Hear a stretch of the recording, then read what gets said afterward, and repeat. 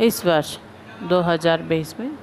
शरद पूर्णिमा 30 अक्टूबर Friday को यानी शुक्रवार को मनाई जाएगी